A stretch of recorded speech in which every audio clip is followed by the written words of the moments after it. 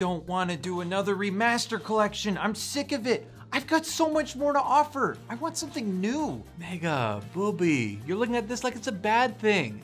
This is easy money. If Capcom wants to keep re-releasing your games, let them. They can port it to a freaking baby monitor for all I care. Because each time they do, you get a cut of those sweet, sweet syndication residuals for doing nothing.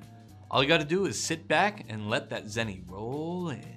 Yeah, I guess you're right. And I get my 10%. What was that? sorry, sorry, something caught my throat.